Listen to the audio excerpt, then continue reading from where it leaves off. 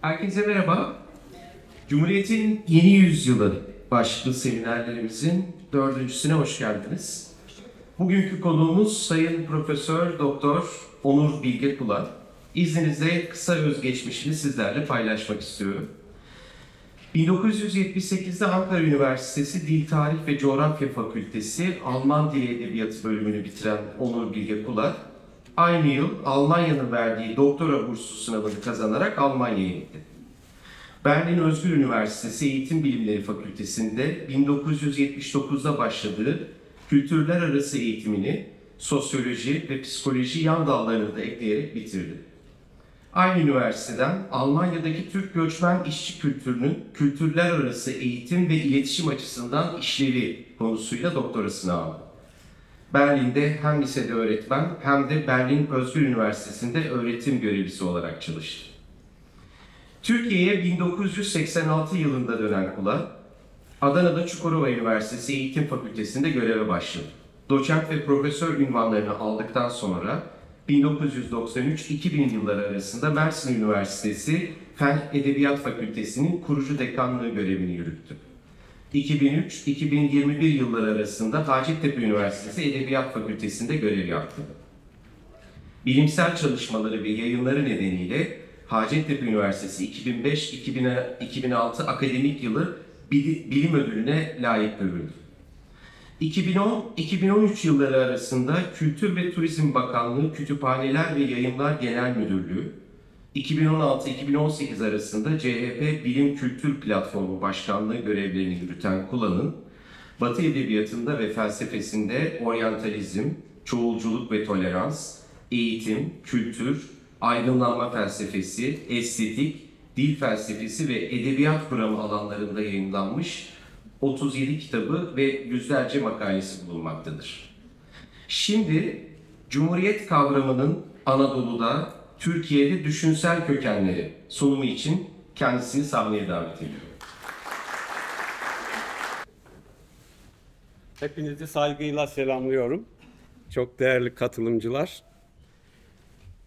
Sizle nasıl ayakta mı konuşmak ya da oturarak sizin karşınızda oturarak konuşmak benim için biraz zor ama peki.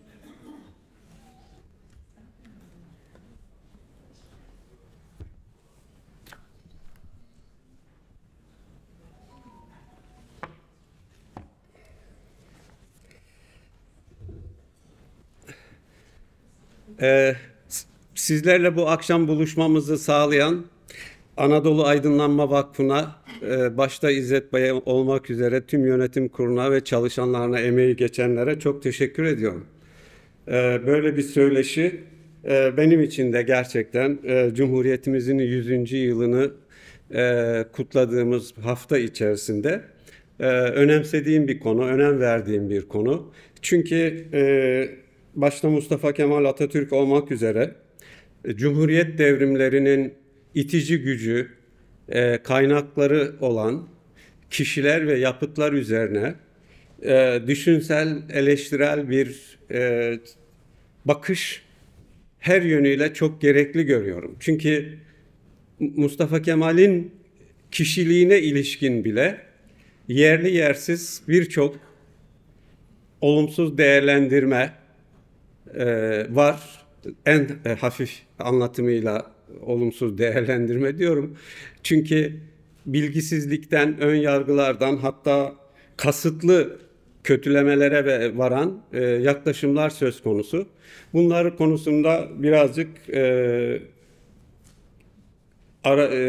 açıklık kazandırıcı, en azından eleştirel düşünmeye olanak verecek bir yaklaşımı belirginleştirmeye çalışmak hepimizin görevi. E, ben de bu görevi kendi bilincim ölçüsünde yapmaya çalışıyorum. Ee, Türkiye'de cumhuriyet kavramı konuşulurken cumhuriyetin birdenbire Mustafa Kemal Atatürk'ün aklına düşen yarın kalkalım cumhuriyeti ilan edelim dedi deyip e, gidip mecliste arkadaşlar cumhuriyeti ilan ediyoruz demesiyle olan bir şey olduğunu söylemek çok zor. Çünkü başta Mustafa Kemal olmak üzere birazcık düşünsel bir çaba içinde olan e, Kurtuluş Savaşı'nın e, önderleri, katılımcıları şunu bilirler ki tarihsiz hiçbir şey yoktur. Her şey özellikle cumhuriyet gibi, e, laiklik gibi, çoğulculuk gibi, tolerans gibi, demokrasi gibi kavramların çok uzun bir tarihi ve bu tarih içerisinde e, birikimli bir gelişme e, göstermesi söz konusudur. O nedenle Anadolu'da da e, Cumhuriyet kavramının Cumhuriyet çağdaş Türkiye'de Cumhuriyet'in kuruluşuyla birlikte gerçekleştirilen devrimci atılımların düşünsel kökleri vardır. Bu düşünsel kökler olmasaydı zaten Anadolu halkının e, Mustafa Kemal 1919'da e, şeye Samsun'a çıkıp artık arkadaşlar değerli yurttaşlar yurttaş kavramı da yok o zaman biliyorsunuz ama en azından biz e, güncel e, şey, kavramıyla e, dile getirelim. Değerli yurttaşlar emperyalist iş, e, güçler ülkemizi işgal etti. Kurtuluş Savaşı başlatıyoruz. Siz de arkamızdan geliniz demesiyle olmamıştır. Bu düşünsel e, kökler söz konusu düşünsel kökler Anadolu'yu yurt olarak gören, yurt e, yurtlaştırma e, kavr, e, yurtlaşmasına katkı yapan insanların oluşturduğu çok ciddi, derin tarihsel bir birikimdir. Bunların başında da e, ben e, Bektaş Veli, Hacı Bektaş Veli demek istemiyorum çünkü Ace Bektaş Veli ocak, ocaktan gelme, ocaklı anlamında e, kullanılan bir kavram Ace. Daha sonradan e, bir kurguyla hacıya dönüştürülüyor. E, bunun çeşitli amaçları var. Bu konuşmamın sınırlarını aşar. O nedenle de ben e, Bektaş Veli veya Ocaklı Bektaş Veli demekle yetineyim. Anadolu'nun yurt Anadolu topraklarının yurt e, olarak görülmesi bilincinin belirginleşmesine en önemli katkı yapan e, düşünürlerin başında onu anmak gerekir. Bektaş Veli'yi anmak gerekir. Çünkü Bektaş Veli'nin kendisi ve düşüncesinin e, düşüncesini geliştirmeyi görev bilen ardıllarının hep e, söyledikleri, vurguladıkları bir şey var ki Anadolu'danım Anadolu benim yurdumdur. Bu çok önemli. Bu yalın tümce aslında çok önemli bir bilincin göstergesidir. Bir toprak parçasının yurt durumuna getirilmesi için onunla e, uğraşmak, irdeleşmek, üretmek, tüketmek gerekir. Bu da uzun bir tarihsel süreç e, ister. Yani işte Türklerin kitlesel olarak Anadolu'ya gelişlerinin tarihi bellidir. E, 1200'lü yılların başında da Bektaş Veli, e, Ahmet Yesevi düşüncesinin e, temsilcisi olarak Anadolu'ya gelen insanlardan birisidir. E, onun e, Anadolu'nun yurt durumuna getirilmesi sürecindeki en önemli e, katkılarından birisi de Türkçenin bütün Anadolu'daki Türkler arasında iletişim dili olarak iletişim ve aynı zamanda düşünme, yazma e, dili olarak ne kadar yazıldı ayrı bir konu. Onu apayrı bir eleştirel değerlendirme konusu yapmak gerekir. Ama en azından Türkçenin e, iletişim dili olarak kullanılması konusundaki duyarlılıkları her zaman her zaman çok büyük bir değer olarak anılmalıdır. Çünkü dilsiz hiçbir şey olmaz. Ne düşünme olur, ne kültür olur, ne sanat olur. Dil her türlü insan üretiminin gerçekleştiği dolayımdır. Dilsiz insan düşünemez. Düşünemeyen bir insan zaten dilini biçimlendiremez. O nedenle de da Bektaş Veli'den başlayan Türkçe duyarlılığı aslında 1928'de alfabe değişikliğiyle e, güç kazanan, ivme kazanan dil devriminin de başlangıcı sayılmalıdır. Bu bakımdan sadece Cumhuriyet'in bir yurt İki, yurttaş ve yurt ve yurttaşlık bilinci üzerine kurulan bir yönetim biçimi olarak Cumhuriyet'in bir süreç, tarihsel bir süreç, tarihsel bir birikim birikimimin düşünsel birikiminin ürünü olduğunu düşünerek bu kavramlara yaklaşmak gerektiği kanısındayım. Atatürk, Mustafa Kemal Atatürk'ün en önemli niteliklerinden birisi tarihsellik konusundaki duyarlılığıdır. Derin tarih bilincidir ve o tarih bilinci çerçevesinde tarihsel olaylardan ders çıkararak güncel olaylara ve gelecek gelecekteki olası gelişmelere ilişkin çıkarım yapma yetkinliği ve yeterliliğidir. Her zaman e, başladığı Atatürk'ün bir soruna başladığı en önemli nokta bir durum belirlemesidir. Felsefede belirlilik kavramı son derece önemlidir. Çünkü belirlilik bir oluşma, e, oluşturma, kurma eyleminin e, zeminidir, ortamıdır, temelidir. Belirsizlik üzerine hiçbir şey kuramazsınız. O nedenle de Anadolu'nun yurt olarak e, görülme bilincinin belirginleşmesi aynı zamanda Anadolu'da e, Türk soylarının, boylarının düşünsel olarak da birbiriyle Anadolu'daki diğer insanlarla onların üretimlerini eleştirel irdeleyerek diğer insanlarla birlikte yeni üretimler yapma sürecinin de başlangıcı olarak görmek gerekir. Şunu vurgulamak isterim ki Anadolu e, özellikle de antik dönemde Küçük Asya bütün e, bilimsel araştırmalar Almanya, İngiltere, Avusturya, İsviçre özellikle de İsviçre'de Zürih Üniversitesi'ndeki küçük ara, e, küçük Asya Araştırma Merkezi'nin yayınları çok kesin olarak e, birkaç nokta üzerinde görüş birliği e, içerisindedir. Bunlardan birisi Anadolu'nun e, kültürlerin buluştuğu, birbiriyle irdeleştiği, birbiriyle bireşimlendiği, hem özgünlüklerini koruduğu hem de birbirine benzeşerek yeni kültürel nitelikler kazandığı bir yaşam ortamıdır Anadolu. Birincisi bu. İkincisi Anadolu kültürlerin hem kendileri olarak kaldıkları, dillerin, kültürlerin hatta dinlerin hem de e, dönüştükleri, değiştikleri yeni yapılar kazandıkları bir ortamdır. Üçüncüsü Anadolu tarihsel olarak bir geçiş noktası olmasından da kaynaklanan bir e, olgu olabilir bu. Tarihsel olarak Anadolu halkı her zaman batıya yönelik yaşamıştır. E, bu Anadolu'nun en doğusu için de geçerlidir. Zaten batısı için fazlasıyla geçerlidir. Batı yönelimi Anadolu kültürünün özsel yapılarından birisi olmuştur. Bu çok önemsenmesi gereken bir şey. Doğuyu küçümsediğim için bunu söylemiyorum. Ama Anadolu halkının yönelimi anlamında e, bunu vurgulamak istiyorum.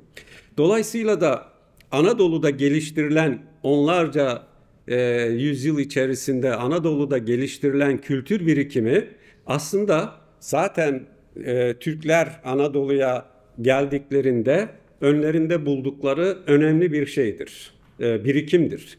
Burada bir noktayı daha vurgulamak isterim.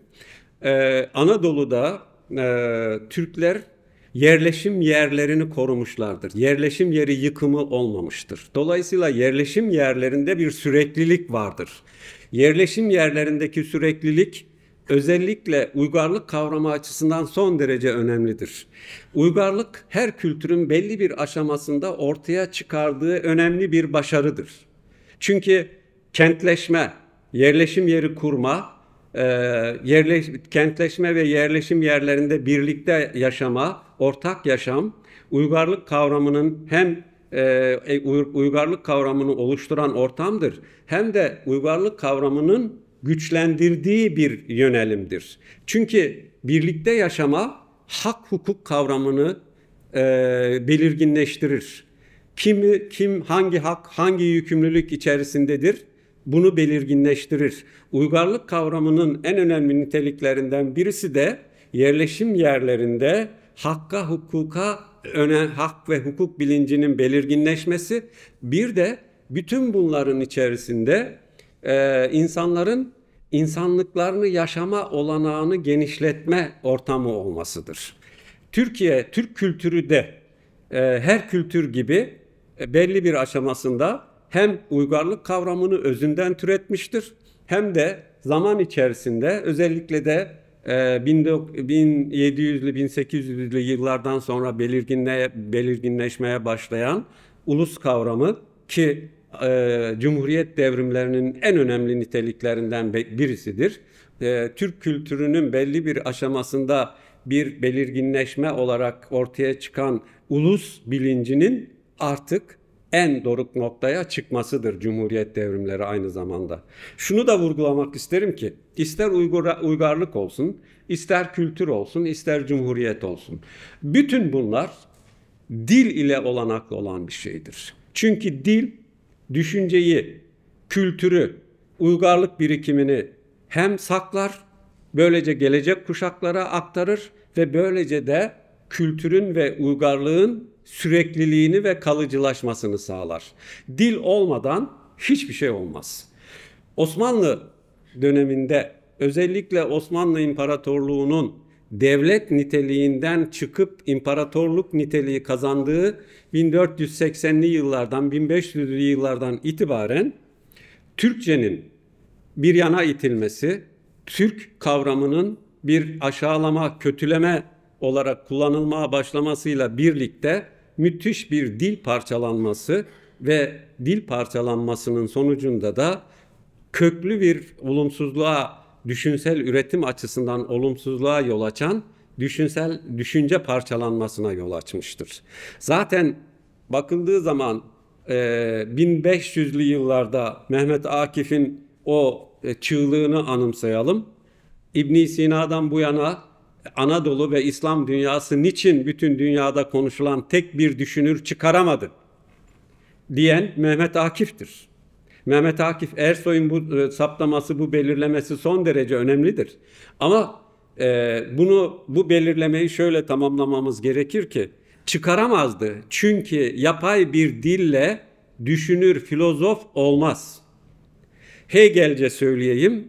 E, bir ulus kendi öz dilinde düşünce geliştirip o düşünceleri öz dilinde anlatma yeterliliği taşımıyorsa dünya tarihinde varlığını koruyamaz. Zaten e, Türk e, ulusunun varlığının tarihsel süreç içerisinde 18. 19. yüzyıldan itibaren belirginleşmeye başladığını ve Cumhuriyet döneminde de bu belirginleşmenin kalıcı bir kavrama dönüştüğünü söylemiştim.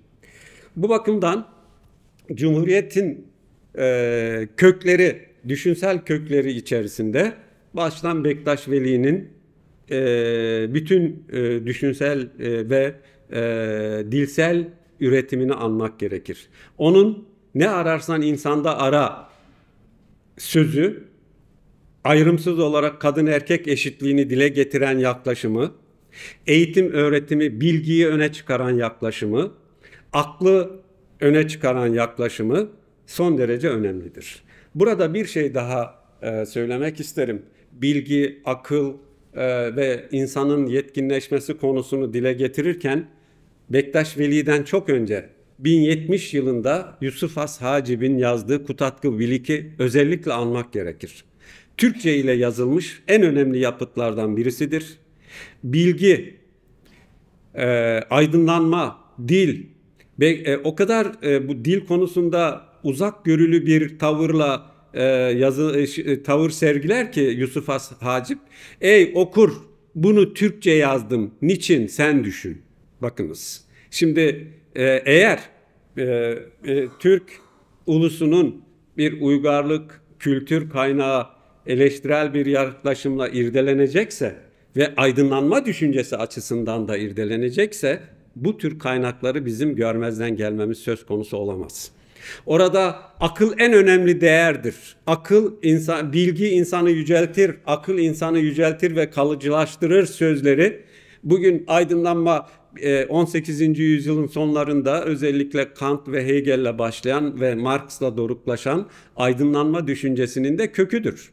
Ya o aklı özgürleşmeyen, aklını eleştirel kullanmayan bir insanın hem kendisini ilerletmesi söz konusu olamaz hem de toplumsal ilerlemeye katkısı söz, söz konusu olamaz. Aklın özgürleşmesi, eleştirel düşüncenin etkenleşmesi, irdeleyici, ayrımlaştırıcı, çözümleyici yaklaşımın e, etkenleşmesi her türlü ilerlemenin kökeninde yatan itici güçtür. O bakımdan da Yusuf Has Hacim'in e, Hacib'in Kutatku Bilik adlı yapıtını ne kadar övsek azdır. Fakat şunu da söyleyeyim ki bu yapıtlarda da örneğin e, kadın erkek konusunda Yusuf Has Hacip'te bir sınırlılık vardır. Bektaş Veli o ayrımı, o sınırlılığı da aşmıştır. Fakat ortaya da Türkçe olarak e, Kutatku Bilik belirginliğinde bir yapıt koyamamıştır. Sonradan yapıtların e, kendi, e, Bektaş Veli'nin e, ve, ve, velayetnamesi ve diğer yapıtları e, sonradan yazılı hale getirilmiştir. Ne zaman yazılı hale getirildiği konusunun da artık belirginleşmesi gerekir. Bektaş Veli'nin sözünü ettiğim düşünce dünyası veya düşünce birikimi üzerine e, o, hem düşüncesini kuran hem de o düşünceyi yetkinleştiren en önemli düşünür ozanımız kuşkusuz Yunus Emre'dir. Türkçenin ulus, ulusal anlamda standart ölçünlü dil durumuna gelmesinin en gelmesini sağlayan ve bu konuda en kalıcı katkıyı yapan kuşkusuz Yunus Emre'dir. Yunus Emre'deki düşünsel derinlik, çoğulculuk, tolerans, insancılık son derece belirgindir. Son derece belirgin olmakla birlikte bunları bugün bile 1300'lü e, yıllarda yaşayan bir insanın e, söylediği veya baş, e, e, Yunus'la birlikte kendisini Yunus gibi söyleyip Yunus adına söyleyen Anadolu Türk halkının bu verimleri, bu üretimleri o kadar önemlidir ki Türkiye Anadolu'da Türk varlığının süreklileşmesi bunlarla olanaklı olmuştur. Zaten bakınız Osmanlı İmparatorluğu ne e, bir Fransa gibi ne bir Rusya gibi ne e, Avusturya Macaristan İmparatorluğu gibi ne de İngiltere gibi hem ulus devlet hem imparatorluk niteliği taşımamıştır. Bu hem ulus devlet niteliği hem imparatorluk niteliği sözünü ettiğim ülkelerin çekirdek ana yurtlarının kalıcılaşmasını sağlamıştır. Bu ülkelerden hiçbirisi ana yurtlarını kurtarmak için bir kurtuluş savaşı vermemiştir. Çünkü ülkeleri o kurtuluş savaşı vermeyi gerektirecek ölçüde parçalanmamıştır ve diğer emperyalist güçlerce işgal edilecek kadar o ulus e, güçsüz düşürülmemiştir. Osmanlı İmparatorluğu'ndaki temel e, eksiklik bu o şeyi olguyu görememiş olmasıdır. Ulus devletin çek- temelini oluşturmak, imparatorluk içerisinde ulus devletin temelini oluşturmak e, en önemli görevken bu görev gereği gibi gereği gibi de demeyeyim hiç yerine getirilmemiştir. Çünkü bunun ilk koşulu olan zaten ulusal dil bırakılmıştır. O nedenle de e, düşünsel anlamda, yazınsal anlamda, e, diğer anlamlarda e, 1400'lü yıllardan itibaren e, imparatorluk çevresinde, egemenlerin saray çevresinde ee, bir e, Mehmet Akif'in deyişiyle dünya çapında dünyayı e, ilgilendiren, konuşturan bir filozof, bir düşünür ortaya çıkamamıştır. Diğer yandan e, Anadolu halk edebiyatı geleneği bu boşluğu büyük ölçüde doldurarak sürmüştür.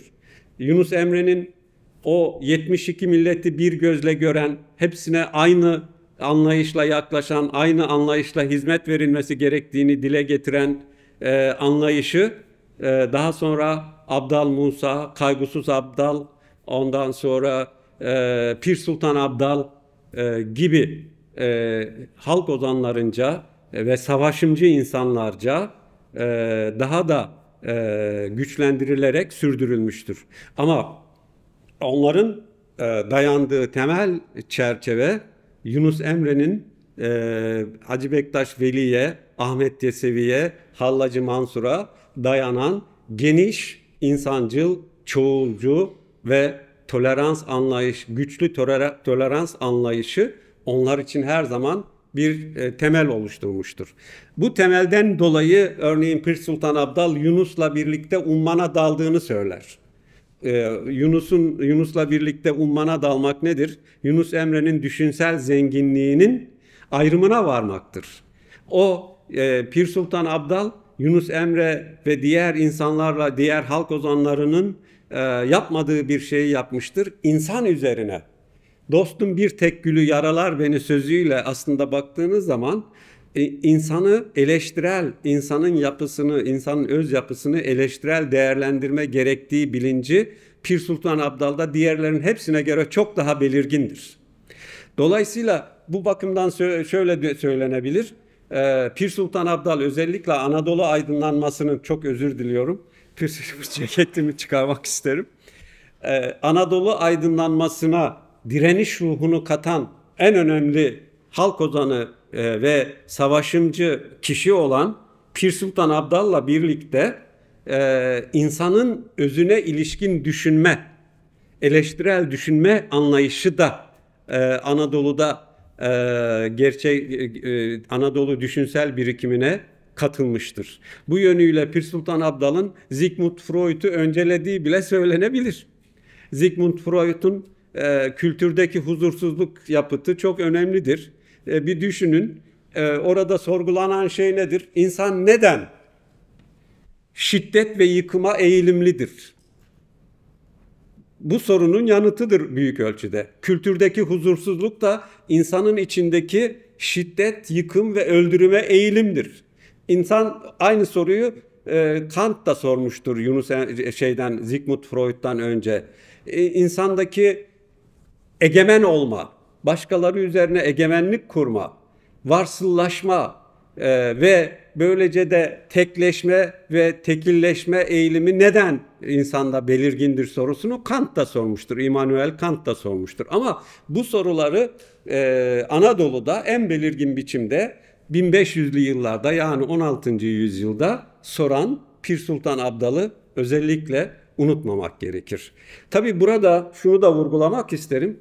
Anadolu halkı e, araştırmalar da bunu gösteriyor ki tek bir Yunus Emre değil Anadolu halkı sürekli Yunus gibi e, Yunus Emre gibi e, düşünsel derinliği olan estetik beğenisi yüksek e, şiirler söyleyen insanları üretmiştir.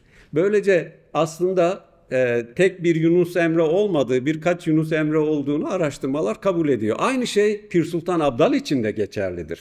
Anadolu halkı tek bir Pir Sultan Abdal'ı yetiştirmekle kalmamıştır. Pir Sultan Abdal gibi söyleyen, Pir Sultan Abdal düşüncesi gibi düşünceler geliştiren insanlar onun adına dörtlükler, dizeler söylemiştir. Dolayısıyla Anadolu halkı bir bakıma e, kendi özünden bu e, düşünsel üretimi sürekli gerçek kendi özünden çıkarak gerçekleştirmeyi de başarmıştır.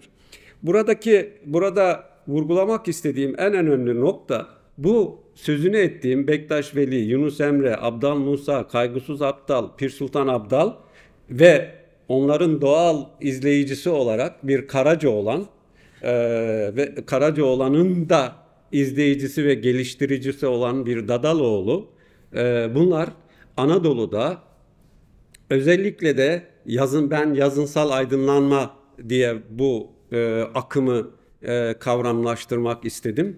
Bu yazınsal aydınlaş, e, aydınlanma aynı zamanda bir düşünsel aydınlanmayı da içermek zorunda kalmıştır. Çünkü bu yazınsal aydınlanmanın dışında bağımsız bir felsefi düşünsel aydınlanma ne yazık ki gerçekleşmemiştir Anadolu'da Osmanlı yönetimi altında. Gerçekleşemezdi de zaten tek nedeni, başlıca nedeni dil birliğinin olmaması, halkın konuştuğu dilin e, küçümsenerek bir kenara itilmesi, yapay bir dille de hiçbir şeyin olması, olamayacağının düşünülememesidir. O bakımdan e, Karacaoğlan ile birlikte düşündüğünüz zaman Karacaoğlan'ın Anadolu sevgisi, doğa sevgisi, insan sevgisi, e, kaynaklarını yine e, saydığım düşünürlerden alan o geniş bakış açısı, e, Dadaloğlu'nun e, Osmanlı'nın yerleşim zorla e, göçebe Türkmenleri, Yörükleri yerleştirme e, politikalarına karşı direniş içinde biçimlenen Dadaloğlu'nun e, özellikle arı duru Türkçesi ve insancıl çoğulcu düşüncesi e, önemse özellikle vurgulanmalıdır. Fakat dediğim gibi bütün bu cumhuriyet düşüncesini çok canlı biçimde e, yurt kavramını, dil ve yurttaşlık ilişkisini çok canlı tutan bu akım ne yazık ki sadece yazınsal e, aydınlanma e, olarak kalmıştır. Bir düşünsel, bir felsefi aydınlanmayla genişleyememiştir. Onun Cumhuriyet'ten sonra da e, yapılan e, Cumhuriyet'in Cumhuriyet devrimleriyle birlikte özellikle de dil devrimiyle birlikte eğitim öğretimin Türkçe yapılması, bilimin Türkçe yapılması, Türkçenin bilim sanat dili durumuna gelmesi için her türlü ön koşulun yaratılmış olması e, çok önemli bir e, atılımdır. Fakat bu atılımın verime dönüştürülmesinde hala yapmamız gereken çok büyük bir görevler olduğunu da özellikle vurgulamak gerekir. Bu alanlarda e, Cumhuriyet'in kadın erkek eşitliği, e, yurttaşların yasa önünde eşitliği, e, Atatürk'ün uygarlık ve çağdaşlık kavramında kararlı direnişi, e, eğitsel anlamda, eğitsel aydınlanmada Mustafa Necati ile başlayan hem bilimselleşme hem akılcılaşma hem de insancılaşma e, düşüncelerini özellikle vurgulamak isterim. Burada e, bu bilim e, eğitsel aydınlanma tabi Osmanlı döneminde herhangi bir eğitsel aydınlanmadan söz etmemiz söz konusu olamaz. Ama şeyle birlikte Cumhuriyetle birlikte bakın bu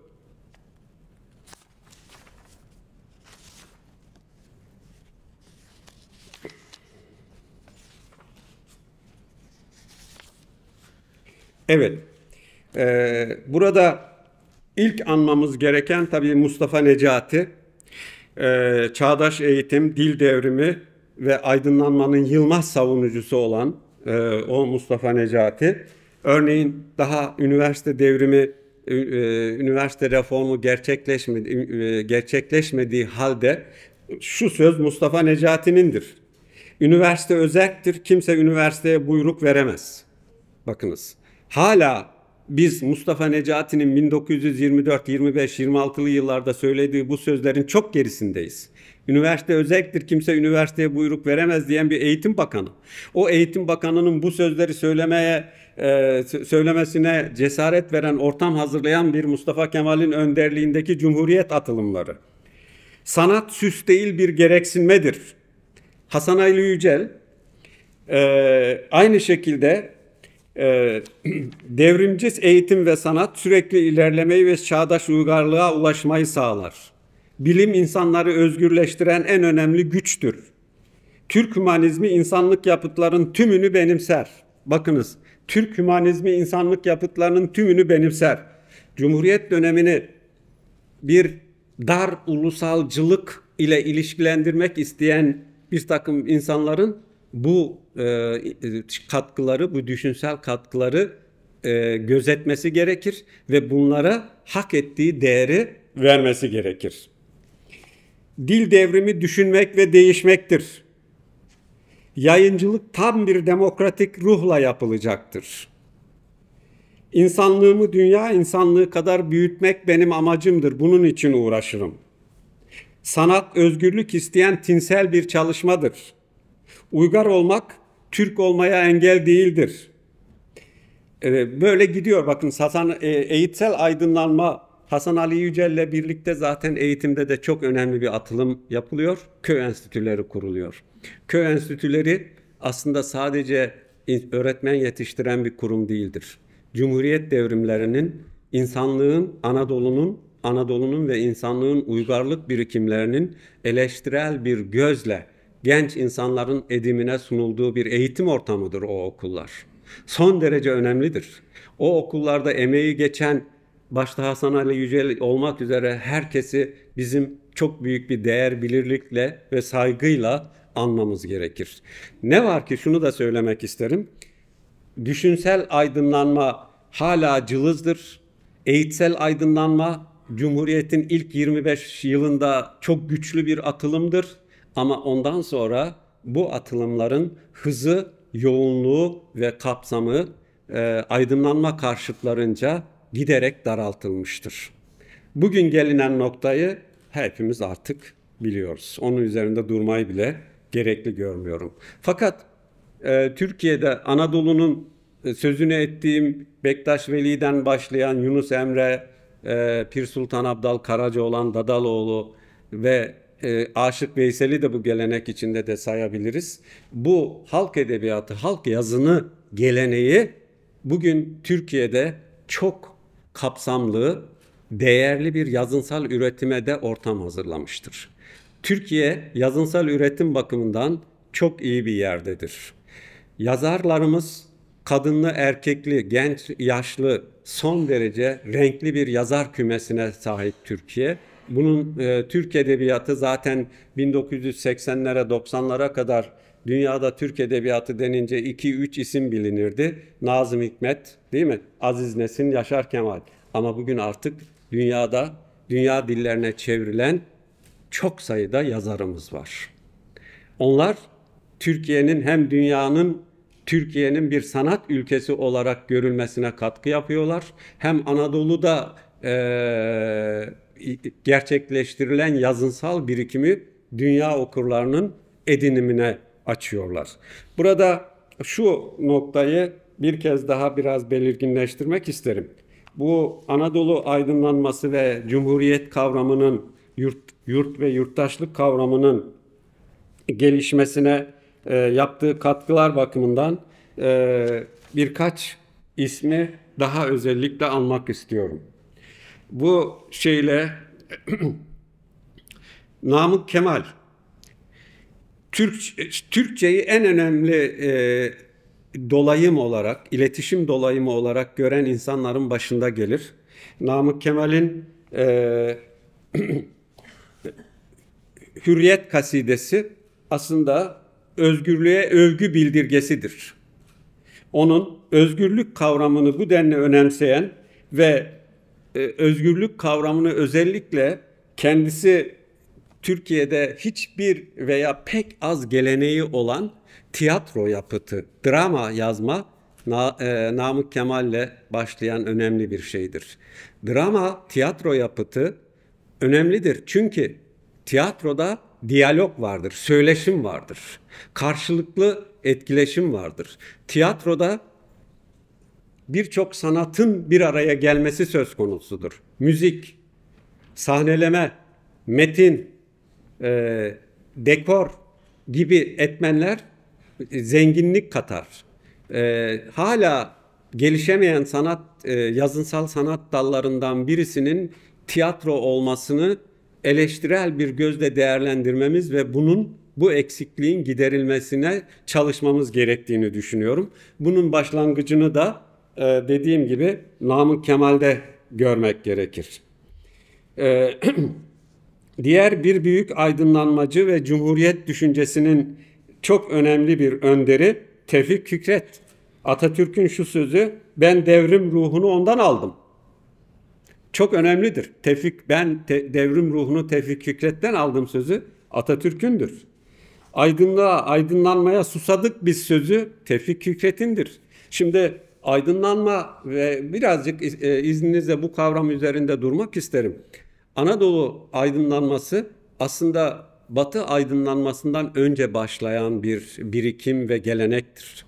Batı'da aydınlanma özellikle Rönesans e, ve Reformasyon döneminden sonra 1500'lü 1600'lü yıllardan sonra düşünsel olarak felsefe alanında e, etkinleşmeye başlamış, belirginleşmeye başlamış bir gelenektir ama Anadolu'da dediğim gibi 1200'lü yıllarda e, başlayan e, hatta bin, e, 11. yüzyılda başlayan İbn Sina'yı da bu arada anmak gerekir. Her ne kadar İbn Sina'nın bütün yapıtları Arapça ise İbn Sina'nın çağdaşı olan e, Kutat Kubilik'i söyledim. E, Yusuf As Hacibi. Keşke İbn Sina da yapıtlarını Türkçe yazmış olsaydı. Ama yine de İbn Sina çok önemli bir aydınlanmacıdır. Bilim alanında, sanat alanında e, onun katkıları Anadolu aydınlanması, dünya aydınlanması için yol göstericidir İbn Sina'nın katkıları. Burada tekrar e, şeye gelmek istiyorum Tevfik Fikret'e. Tevfik Fikret'in e, kuşku aydınlıklara, aydınlanmaya koşmak demektir. Şimdi kuşku aynı zamanda eleştirel düşünme demektir. Bir şeyden kuşku duymaksızın, bir şeyi eleştirel bir yaklaşımla eleştirmeksizin o şeyin özündeki olumsuzlukları bir yana bırakıp olumlulukların etkenleşmesine, etkinleşmesine ortam hazırlayamayız. O bakımdan da e, aydınlanma düşüncesinin en önemli yönü çözümleyici, analitik, ayrımlaştırıcı düşünmeyi öne çıkarmasıdır. Tevfik Fikret'te bu çok belirgindir. O nedenle de Tevfik Fikret'in Anadolu Türk aydınlanmasına katkısı her zaman saygıyla anılmalıdır. Evet, Mehmet Akif'in biraz önce bir sözünü söyle, aktarmıştım. Ee, yine özgürlüğün sığınağı en temiz vicdanlardır diyen Mehmet Akif'tir. Mehmet Akif'i dinsel bir kişiliğe büründürerek mistik bir yapı içerisinde sunmak ona yapılabilecek en büyük kötülüklerden birisidir. Ama ne yazık ki böyle sunuluyor. Ee, diğer taraftan iğrenç baskı dönemi bitsin, özgürlük gelsin, özgürlük dönemi başlasın diyen de Mehmet Akif'tir. İğrenç baskı dönemi onun yaşadığı dönemde kimdir? İkinci Abdülhamit dönemidir. Şimdi hem Abdülhamit'i hem de Mehmet Akif'i aynı gibi gösteren yaklaşımın ne kadar yersiz olduğunu görüyor musunuz?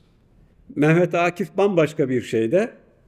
Diğer taraftan o baskı döneminin en önemli figürü Abdülhamit ise baş, bambaşka bir yoldadır. İnsan anlamak ve sürekli ilerlemek isteyen bir varlıktır.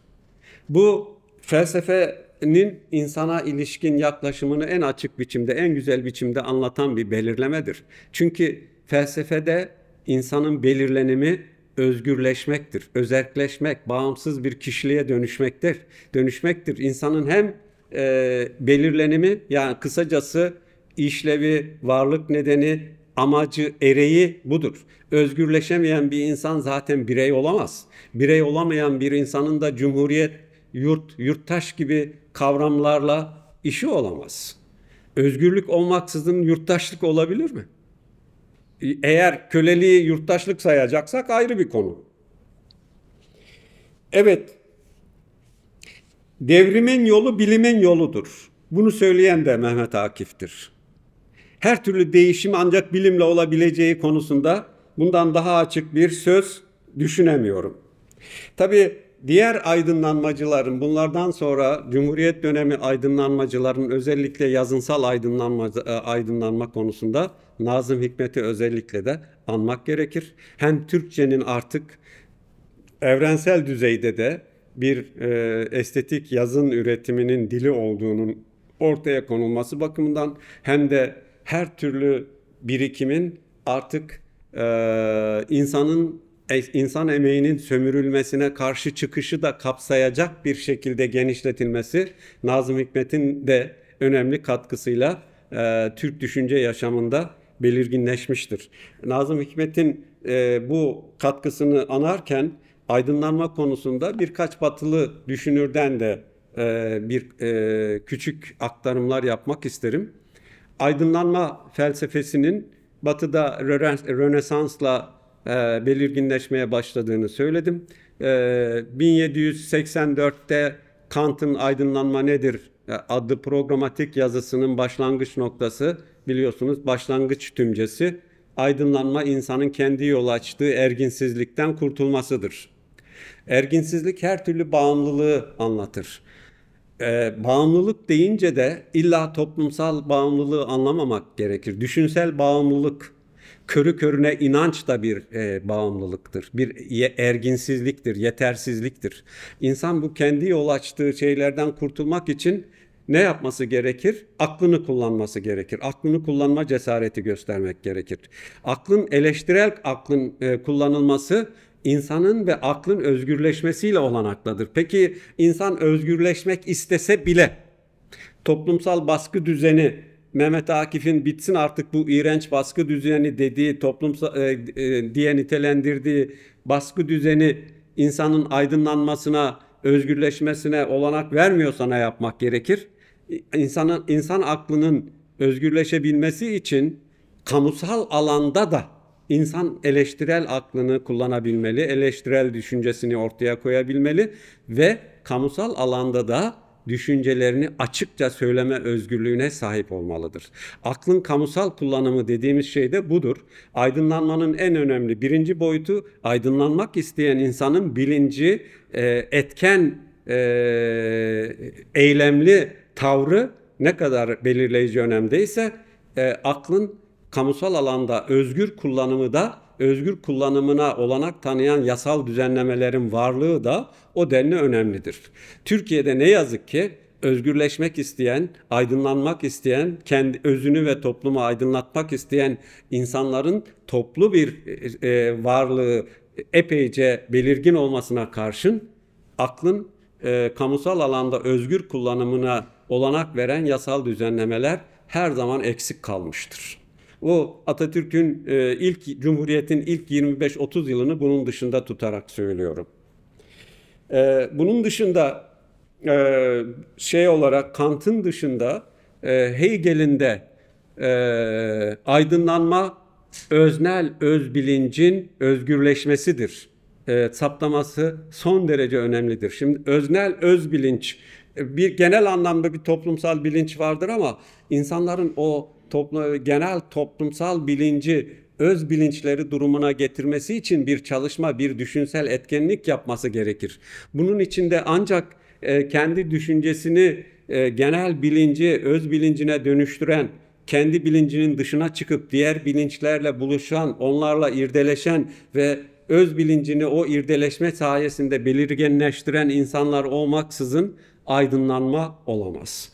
Bunun için e, Marx'ın bir katkısını da anmak gerekir.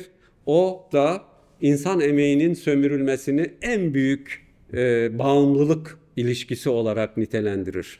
Dolayısıyla e, emek sömürüsü var olduğu sürece gerçek anlamda aydınlanmak isteyen insanın hem özünü hem toplumu aydınlatma uğraşı sınırlı kalır.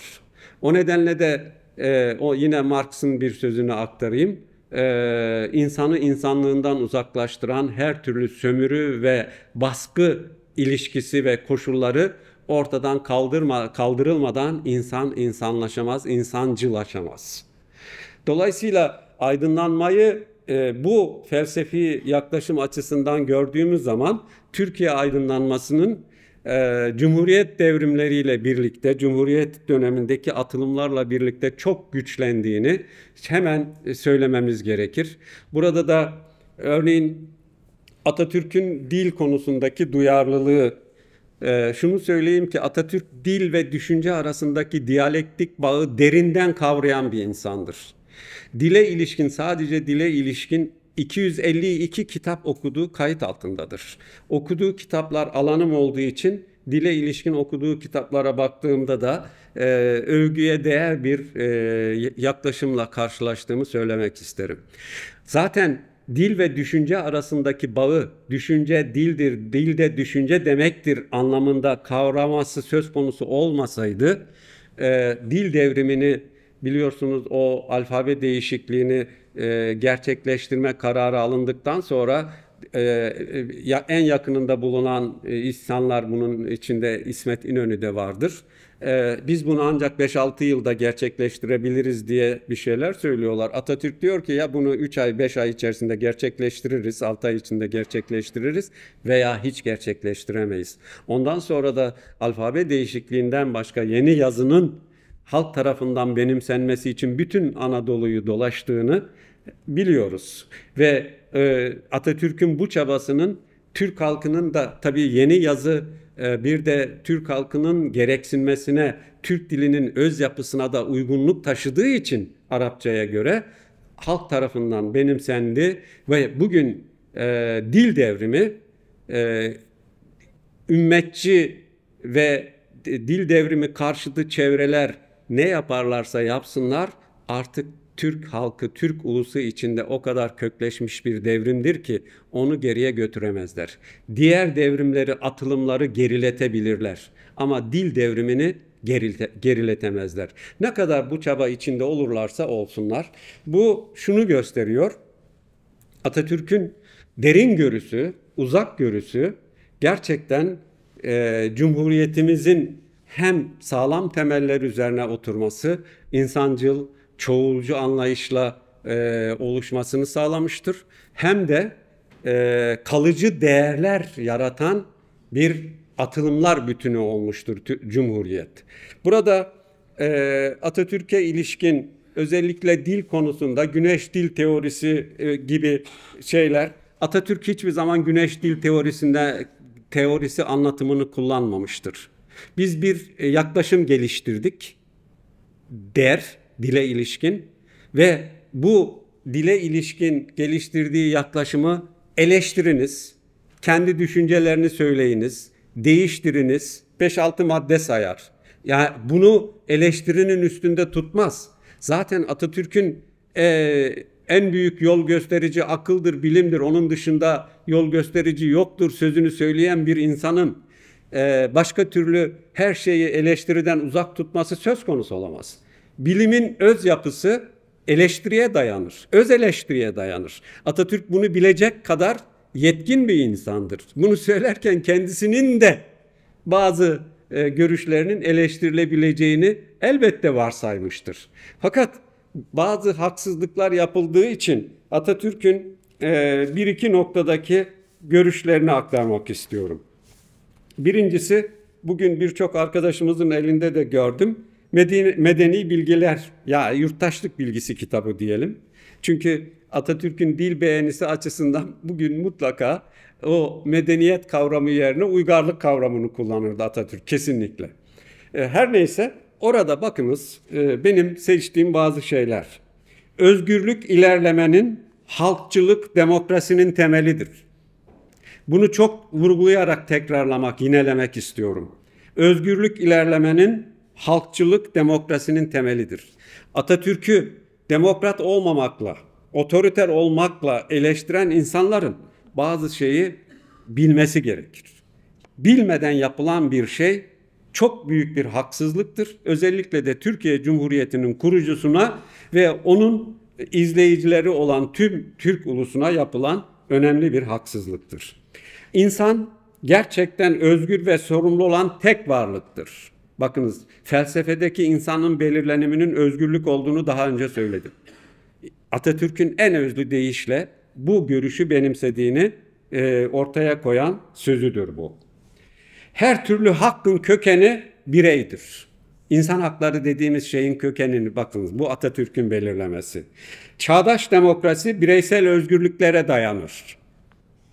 Türkler demokrat, özgür ve sorumlu yurttaşlardır. Şimdi Atatürk'ün Türk sözünü kullanmasını böyle Türk ulusçuluğuna, milliyetçiliğine yormak isteyen bir topluluk da var nedense. Yani bir insanın ait olduğu ulusu adıyla anması, ulus, ide, ulus kavramının ideolojik anlamda kötüye kullanılması olan ulusçuluk, etnik milliyetçilik olarak yorumlanabilir mi? Bir Arap'ın Arap ulusunu sevmesi ne kadar doğalsa bir Rus'un Rus ulusunu sevmesi, e, kısacası Çinlinin Çin ulusunu sevmesi ne kadar doğalsa bir Türk'ün de Türk ulusunu sevmesi o kadar doğaldır. Bir insanın ulus sev, ulusunu sevmesi başka uluslara düşmanlık etmesi anlamı taşımaz. Bunu ayırmak gerekir. Zaten Atatürk de e, hani Cumhuriyet Halk Partisi'nin ilkelerinden birisi olan milliyetçilik konusunu açıklarken ne diyor? Bizim milliyetçilik anlayışımız, ulusçuluk anlayışımız, anlayışımız ulusseverliktir, yurtseverliktir. Bu kadar basit. Ulusunu, yurdunu sevmektir. Bunun ötesinde ideolojik bir amaçla eğer şey olsaydı biliyorsunuz Hitler döneminde Cumhuriyet Halk Partisi'nden bir ekip Almanya, İtalya gidiyorlar ve orada gördükleri o e, faşist yönetimden etkilenen bir takım insanlar e, Cumhuriyet Halk Partisi'nin tüzüğünü yönetmeliğini de o doğrultuda değiştirmek üzere Atatürk'e bir öneri getiriyorlar. Atatürk kaldırıp bir kenara atıyor. Yani ırkçılıkla Atatürk'ün etnik milliyetçilikle Atatürk'ün ile ilişkilendirilmesi kadar e, vahim bir hata olamaz. En hafif deyimiyle bunu böyle söylemek istiyorum. Devam ediyorum. Eleştiri ve tartışma tümüyle özgürdür. Bakınız eleştiri ve tartışma tümüyle özgürdür. Yurttaşlık bilgisi kitabını Atatürk ne zaman yazıyor? 1930 Şubat Ocak aylarında. 30 yılının başında. Şimdi 1930'lu yıllar Türkiye'nin işte otoriter yönetim falan diye e, kendisini ilerici sayan ve Atatürk düşüncesini benimsediğini de imleyen bir takım insanlar bile söylüyor. Böyle bir şey olabilir mi? 1930'un başında Atatürk yazdığı kitapta bu düşünceleri dile getiriyor. Düşünceyi özgürce söylemek ve yayınlamak haktır. Basın özgürlüğünden doğacak sakıncalar yine basın özgürlüğü özgürlüğüyle giderilir. Bakınız basın özgürlüğü bugünkü durumuna bakın. 1930'daki Atatürk'ün görüşlerine bakınız. Tolerans din ve vicdan özgürlüğüyle giderilir. Bundan daha önemli bir belirleme olamaz. Eğer Anadolu yapısı gereği Osmanlı İmparatorluğu'nun da e, kalıtı olarak birçok dinden insanların, birçok e, farklı kökenden, etnik kökenden insanların bir arada yaşadığı ve Türkiye Cumhuriyeti'nde eşit yurttaş olarak yaşamak istediği bir yurt ise ki öyle öyledir. O zaman tolerans kavramı, çoğulculuk kavramı Atatürk'ün de en geniş biçimde tanımladığı üzere günlük yaşamda e, edimselleştirilmelidir. Yaşam tarzı durumuna getirilmelidir. Çoğulculuk ve toleransın olmadığı yerde dışlama ve bölücülük olur. En büyük bölücülük de budur zaten. Dışlama başka bir şeyi herhangi bir niteliğinden dolayı dışlamadır. Evet, bazı insanlar geleceği geçmişte aramakta ısrarlıdır. Bu da Atatürk'ün özellikle de e, dini aratsallaştırarak e, Cumhuriyet atılımlarını, devrimlerini, aydınlanma devinimini karanlıklaştırmaya dönüştürmek isteyen insanları imlediği bir anlatımdır.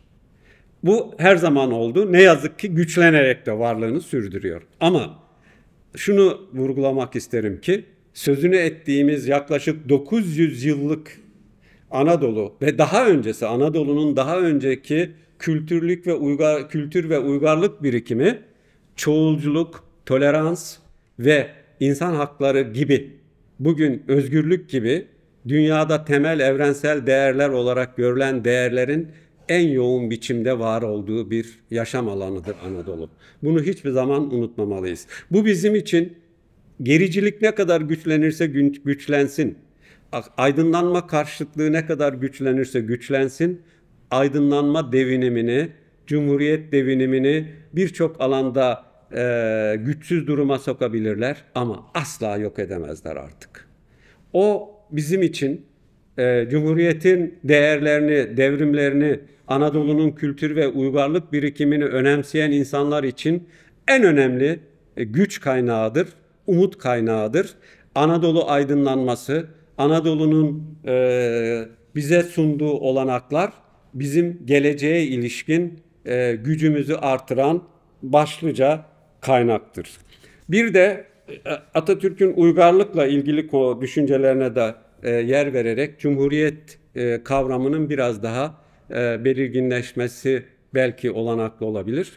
Atatürk 1932'de yapılan birinci tarih kurultayına sunulmak üzere Hasan Cemil Meriç'e Ege medeniyetinin menşeine umumi bir bakış yani Ege uygarlığının köklerine genel bir bakış bugünkü Türk, güncel Türkçe ile adlı bir bildiri yayınlat yazdırıyor ve bu elimdeki o özgün basımıdır. O 1932'de yapılan özgün basımdır.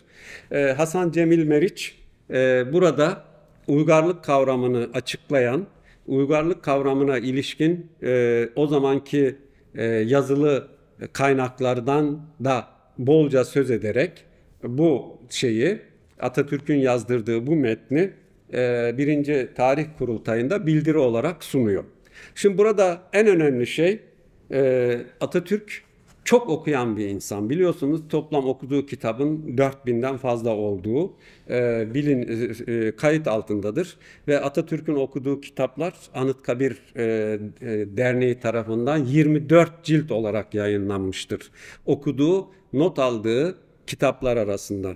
Şimdi bu Atatürk'ün okuduğu kitaplar arasında kültür felsefesinin kurucusu olan ve bu yazıda en az 8-10 yerde adı geçen Herder vardır.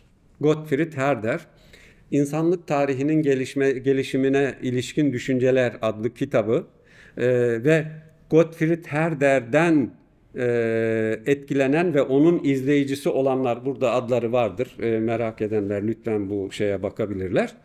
İzleyenlerin e, 3-4 e, Ege uygarlığına ilişkin 3-4 e, e, şeyin araştırmacının, bilimcinin kitaplarına da burada Atatürk yer veriyor. Onlardan söz ediyor. Onların irdelemelerini, onların görüşlerini eleştirel bir yaklaşımla kendince bir değerlendirmeye sokuyor. Buradaki temel düşünce şudur. Asya uygarlıkların kökenidir. Anadolu uygarlıkların harmanlandığı beşiktir. Uygarlıkların e, Anadolu'da uygarlıklar birbirin birbiri üzerine kurulmuştur. E, Yunan uygarlığından çok önce Mısır ve İyon uygarlığının birleşimiyle Ege uygarlığı Anadolu'da belirginleşmiştir. Helen veya Yunan uygarlığı bunun üzerine kurulmuştur. E, bu sadece Atatürk'ün düşüncesi değil, kültür felsefesinin kurucusu dediğim gibi her derinde kitabında dile getirdiği düşüncelerdir. Zaten bakınız alfabe konusunda e, alfabenin e, ilk çıktığı yer, ülke Mısır'dır. Mısır'da geliştirilen alfabeyi İyonlar alıyorlar Ege kıyısında. Onu biraz daha geliştiriyorlar. Yunanlar Mısır ve İyon e, alfabesinin e, bireşimini alıp kendi alfabelerini oluşturuyorlar. Şimdi alfabe konusunda bile böyle bir e, nitelik değiştirici etkileşim varsa kültür değerleri konusunda, uygarlık değerleri konusunda nit, e, kalıcı, kapsamlı etkileşimin olmaması söz konusu olamaz. Bu bağlamda kültür kavramının bir takım özelliklerini bir özet olarak yinelemek isterim. Bir, kültür birikimlidir. Ya şöyle söyleyeyim, bir kültür değeri yaratıldığı zaman bir daha yok edilemez. O kültür değeri üzerine yeni değerler oluşturulur. İki, kültür birikimlilik nedeniyle tarihseldir ve süreçseldir. Üç, kültür geçişimlidir. Bir kültür değeri yaratıldığı bir yerde tutulamaz. İsteyen e, özellikle de birbiriyle bağlantısı e, iletişimi, teması olan topluluklar birbirinin geliştirdiği kültür değerlerini edinirler. Kültür değerleri kültür sınırlar içerisinde tutulamaz. Kültür geçişimli olması nedeniyle hem yereldir hem evrenseldir. Zaten e, yerel bir kültür diye bir şeyin artık ye, yerellik kavramını e, biraz önemseyen insanlar çoğaldı. Aslında yerellik kültürün çıkış noktasıdır. Ama kültürün ulaştığı nokta evrenselliktir. E, dolayısıyla aynı şey, aynı nitelikler e, şey içinde, e, uygarlık kavramı içinde geçerlidir. Bu nedenle de söz konusu özelliklerden ötürü de kültür kavramı değişimseldir, değişkendir. Kalıcı bir kültür yoktur. Fakat burada bir kavramı daha açıklamak gerekebilir. Kültür mirası, kültür kalıtı. E, biz bugün e, Anadolu kültür kalıtı derken Anadolu'da bugüne kadar yaratılmış kültür değerlerinin toplamından söz ediyoruz. Bu bir yönüyle gelenek, görenekler, yaşam alışkanlıkları, yaşam tarzına ilişkin bir takım ipuçlarını içerir. Bu yönüyle gelenek, görenekler aslında insanın e, gelişimini e, engelleyebilen nitelik de taşıyabilir. Fakat gelenek görenek olmaksızın da insanın ve kültürün sürekliliği olmaz. Dolayısıyla gelenek göreneklerin ilerlemeyi e, çağın gereklerini yerine getirecek atılımları yapmayı engelleyen yönlerinin ayrıştırılması gerekir. O nedenle kültür kalıtının, kültür mirasının olduğu gibi kabullenilmesi her zaman bu tutumu sergileyen toplumlar ve bireyler için bir yük oluşturur. O yükü hafifletmek gerekir. Günün gereklerine, güncel gereksinmelere, insanın insancılaşmasına uygun kültür ögelerini seçip güncel yaşamda etkenleştirmek en doğru yaklaşımdır. Ayrıca kültür kalıtının analitik, çözümleyici bir yaklaşımla değerlendirilmesi gerektiğini gösteren başka bir e, yön, bir kültür sadece değerler yaratmaz, değersizlikler de yaratır. Bu her kültür için geçerlidir. Dolayısıyla Türk kültürü de değerler yarattığı gibi değersizlikler de yaratmaktadır. Örneğin kadın öldürümlerini değer mi sayalım şimdi? Ama kültürümüzün önemli bir parçasıdır. Baskı değer midir? Ama kültürümüzün önemli bir parçasıdır. Aydınlanma karşıtlığı bir değer midir? Ama kültürümüz içinde vardır. Dolayısıyla bunları ayrımlaştırıcı, çözümleyici bir yaklaşımla kültür kalıtı dediğimiz o bütünsel oluşumu e, bir değerlendirmeye tabi tutmamız gerekir. Türkiye'de en az yapılan şeylerden birisi de kültür kalıtının ayrımlaştırıcı bir gözle değerlendirilmesidir. Şimdi Atatürk'ün biraz önce okuduğum bir takım insanların gözleri ileriye değil geriye dönüktür sözü aslında kültür kalıtının özellikle de bazı ögelerini başta din olmak üzere bazı ögelerini başatlaştırmak isteyen insanların yaklaşımını anlatmak içindir. O nedenle de bu Ege uygarlığı konusunda Atatürk'ün e, saptamalarından, belirlemelerinden bazılarını aktararak konuşmamı sonuçlandırayım. Ege uygarlığı e, yazısı 1932'de dedim. 1932'de aynı zamanda e, İsviçreli e, eğitim bilimci Albert Malke'nin üniversite raporunun da yayımlandığı yıldır.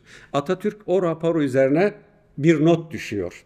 Anadolu kültürü Anadolu'da olan üniversitelerce araştırılmalıdır. Bakınız bu son derece önemlidir. Bugün biraz önce konuşmamda söz ederken e, İsviçre'nin Zürich Üniversitesi'nde Küçük Asya Araştırmalar Merkezi'nin önemli yayınlar yaptığını söyledim. Niçin Türkiye üniversitelerinde Anadolu'nun bütün tarihine ilişkin kültür, düşünce, felsefe, yazın tarihine ilişkin e, nitelikli yayınlar üretemiyoruz? Bu çok önemli bir görev değil mi? Ama gereği gibi yerine getirmiyoruz. Atatürk o e, Albert Malke'nin raporu üzerine üniversite bilim özgürlüğü ve Anadolu uygarlığı konusunda özenli davranmalıdır. Anadolu Ege uygarlığının ocağıdır. Bakınız Atatürk'ün e, bu uygarlık kavramıyla ilgili belirlemeleri. Bütün uygarlıklar karşılıklı etkileşimin ürünüdür. Şimdi Atatürk'e etnik e, ulusçuluk yakıştırması yapanlar için de bunları özellikle vurguluyorum. Asya ve Mısır uygarlığın çıkış noktasıdır. Atatürk ve aydınlanma devinimi e, açısından klasik dünya Yunanlaşmadan önce, Romalaşmadan önce egeleşmiştir. Son derece doğru bir saptamadır. Klasik dünyanın Yunanlaşmadan önce, Helenleşmeden önce egeleşmiş olması yani Anadolu'ya özgü bir nitelik kazanmış olması özgür e, uygarlık ve kültür kavramı bakımından son derece önemlidir. Ege uygarlığını kuran ön, ön Asyalılar Türklerin atasıdır. Şimdi burada işte birazcık ayrımlaştırmak gerekir. E, Atatürk bu Herder'in e, kitabında arkadaşlarımla konuşurken de söyledim e, Türklerle ilgili bir bölüm var. E, o e, kültür felsefesinin kurucusunun kitabında. O da o bölümün adı Avrupa'da yaşayan ancak Avrupalı olmayan halklar bölümüdür. Avrupa'da yaşayan Avrupalı halkla e, Avrupalı olmayan halklar olarak Herder, Arnavutlar başta olmak üzere Macarlar, Bulgarlar, Türkler ve Romenleri e, anıyor. Türkler ve Türklere ilişkin de son derece olumsuz yarım sayfalık bir bölüm var. Orada şöyle başlıyor. 300 yıldan fazla bir süredir Avrupa'da yaşayan ama Asyalı barbarlar olarak kalmakta direnen bu halkın Avrupa'da ne işi var? Devam ediyor. Bu barbar halk bir zamanların en soylu Yunan halkını e, e vahşi barbarlara dönüştürmüştür. Bu halk e, birçok uygarlık değerini, kültür değerini bir daha yerine konulmayacak biçimde yok etmiştir. Böyle sayıyor yarım sayfa. Tabii bu Atatürk'ü biraz irrite etmiş olmalı. Böyle hem Ege uygarlığı konusunda doğru saptamalar hem var hem de e, Türkleri Avrupalı Avrupa'da yaşama, yaşamalarına karşın Avrupalı olmayan Asyalı barbarlar olarak kalmakta direnen topluluk olarak nitelendirmesi Atatürk'ün öyle sanıyorum ki uygarlıkların kökenini Türk ve Türklere bağlama eğiliminin güçlenmesine katkı yapmış olabilir. Bu benim bir varsayım olarak dile getiriyorum. Ama bu o kitapta bir bölüm var. O kitabı da Atatürk okumuş ve o kitaba ilişkin değerlendirmelerinde söyledim. Buradan bir şeyle gelişme ve ilerleme doğudan çıkmıştır. Bu bütün kültür ve uygarlık tarihçilerinin üzerinde birleştiği bir noktadır. Atatürk de aynı görüşü daha da geliştiriyor. Anadolu kültürlerin beşiği, Yunanistan ise anasıdır. Bu Herder'in görüşü ve Atatürk bu görüşü eleştiriyor. Bu buna benzer şeylerle uygarlık ve kültür konusunda şimdi e, Atatürk'ün en önemli e, direnme noktası ilerlemedir, çağdaşlaşmadır. Zaten benim öz yapım özgürlükle bağımsızlıktır diyen bir insanın karakterim öz yapı öz yapıyı karakter anlamında kullanıyorum. Benim öz yapım özgürlük ve bağımsızlıktır diyen bir insanın özgürleşmenin sınırsız bir ilerleme gerektirdiğini bilmemesi söz konusu olamaz. O bakımdan da hep vurguladığı bir şey vardır. Cumhuriyet devrimlerinin de temelini oluşturan bir sözdür o, belirlemedir. Ee, şey olarak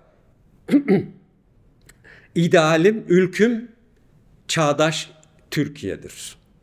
Şimdi çağdaş Türkiye özellikle de Atatürk'ün e, çağdaş uygarlık birikimine ilişkin bakışı son derece tutarlı, ayrıştırıcı bir yaklaşımdır. Örneğin İngilizler İstanbul'u işgal etmiştir. Diğer emperyalist güçlerin e, desteği ve e, yönlendirmesiyle Yunanlar Anadolu'yu işgale kalkmıştır. Ama Atatürk şu ayrımı e, ayrımlaştırmayı hep yapmıştır. Biz işgalci emperyalist batılı güçlerin bu yönüne en kararlı biçimde karşı çıkacağız. Onları geldikleri gibi geri dönmeye zorlayacağız ama onların geliştirdiği insanlık ve uygarlık birikimini de önemseyip edinmeye çalışacağız. Bu son derece önemli bir yaklaşımdır. Ayrımlaştırma ne batı düşmanlığı ne insan düşmanlığı Atatürk'ün zaten düşmanlık kavramını tanımayan bir insandır. E, ta, e, düşmanlık kavramını tanımadığı, tanımayan bir insan oluşunun en önemli kanıtı da önüne serilen Yunan bayrağını e, çiğnememesi ve saygıyla kaldırılmasını istemesidir. Avustralya'da e, Anzakların e, Çanakkale Savaşı'nda ölen Anzakların annelerine seslenişini düşünün. Onlara karşı kendisi e, ölümü pahasına savaşmıştır ama onlar artık ne diyor? Onlar artık bize emanettir. Bizim bağrımızda yatmaktadır. Şimdi bu kadar geniş görüşlü bir insanın dar bir ulusçulukla ilişkilendirilmesinin ne kadar haksız ol, haksızlık olduğunu sizin değerlendirmenize bırakıyorum. Şöyle sonuçlandırayım. Cumhuriyet atılımları ve devrimleri elbette Anadolu'nun tarihsel birikiminden büyük güç almıştır. Ama Atatürk'ün kararlı, ilkeli ve ülkücü tavrıyla kalıcı felsefi düşünsel bir nitelik kazanmıştır. Bunların başında da en önemlisi dil devrimidir. Dil geliştikçe hepimiz Türkçenin, özgün güzel bir Türkçenin bilim dili olarak, sanat dili olarak, felsefe dili olarak gelişmesine gücümüz, bilincimiz ölçüde katkı yaptığımız sürece Cumhuriyet'in de en önemli değerini korumuş olacağız. Unutmayalım ki Atatürk ölürken bile aman ha dil, aman ha dil diye sayıklamıştır. Bakınız bu son derece önemlidir. Diğer bir konu e, bu şeylerle gericilik, aydınlanma karşıtlığı her zaman var olacaktır. Bazen güçlenecektir, bazen güçsüzlenecektir. Güçlenmesini önlemek aydınlanmacı insanların kararlı, ilkeli ve insancıl tutumunu yaygınlaştırmasıyla olanaklıdır. O da bize bağlıdır. Bizim de Atatürk'e ve Cumhuriyet değerlerine e, bağlılığımızın göstergesi o değerlerin bu özelliğini korumak olmalıdır. Çok teşekkür ediyorum.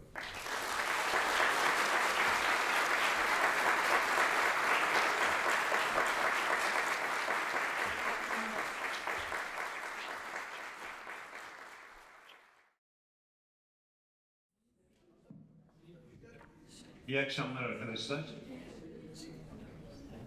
Ee, şimdi hocamızın uçağa yetişmesi için kısıtlı bir zamanımız var. Ee, lütfen herkese birer soru hakkı tanıyacağız o yüzden. Mümkün olduğunca kısa sorular sorarsanız ve bugünkü konuşma içeriğinden sorular sorarsanız seviniriz. Teşekkürler. Ee, sözü hocamızdan isteyeceksiniz. Ben mikrofonu uzatacağım. Ben artık e, konuşmayayım. E, katılımcılar bu zamanı kullansınlar. Buyurun. Çok muhteşem bir tespit yaptı, o çok hoşuma gitti. Yani e, bazı imparatorlukların Ruslaşmasına müsaade etmelerinin sömürgeci savaşına yol aç- açmadığını söyleyen çok hoş bir şeydi. Sorum şu, kısa tutacağım. E, uluslaşma süreciyle dil olgunlaşmasında bir koçukluk olsa gerek. Ama bunu da üretim biçimiyle, yani üretim biçimiyle, mülkiyet biçimiyle bir bağı olsa gerek. Bu konuda biraz açılım yapabilir misiniz?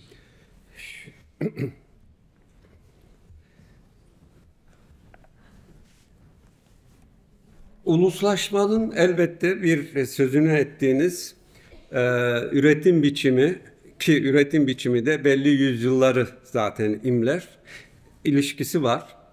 E, bir de e, kültürel gelişmenin uygarlaşmanın düzeyiyle bağlantılı bir olaydır. Kültür zaten her kültür hem uygarlığı hem de ulus kavramı özünden türetir. Şimdi sadece örneğin diyelim ki Fransızlar 1600'lü yılların başında ulus devletlerini kurarlarken orada ulusal bilincin belirgin olduğu çok açıktır.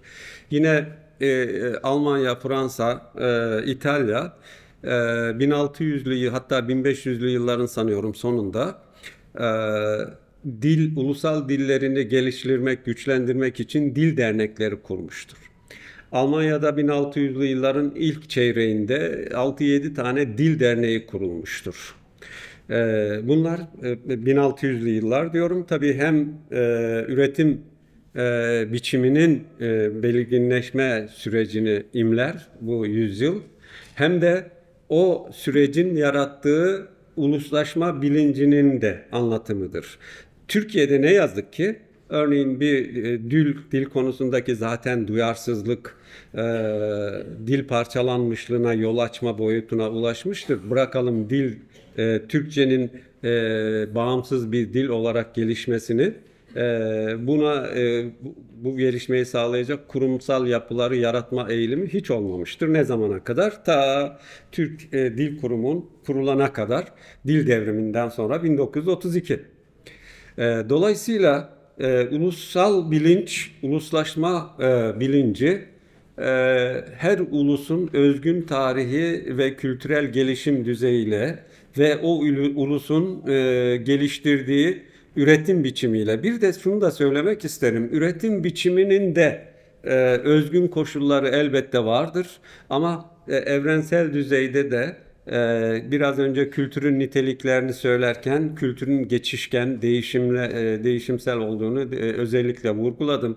Çünkü bir yerde geliştirilen bir kültür değerini edinmek e, bir bilinç sorunudur. E, zaten böyle bir bilincin varlığı da ulus bilincinin geliştirilmesidir. Ben ayrıca şunu özellikle vurgulamak isterim herhangi bir yanlış anlaşılmaya e, yer vermemek için.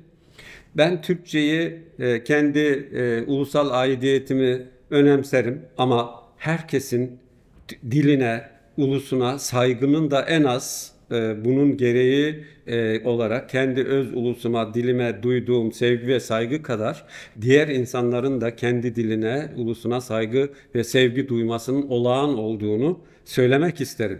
Biz e, herhangi bir şekilde Arapça ve Farsçanın, Türkçenin Arapça ve Farsçanın etkilerinden kurtularak özgün, bağımsız bir dil olarak yetkinleşmesini e, her zaman bir görev olarak vurgularım. Ama bunun asla bir Arap veya Fars düşmanlığına dönüşmesi gibi saçmalık a- e, düşünülmeme, olmamalıdır. Böyle bir şey olamaz. Çünkü ulus kavramının varlık nedeni kültürdür, özellikle de dildir. Dili olmayanın ulusu zaten olmaz. Evet, çok teşekkür ederim.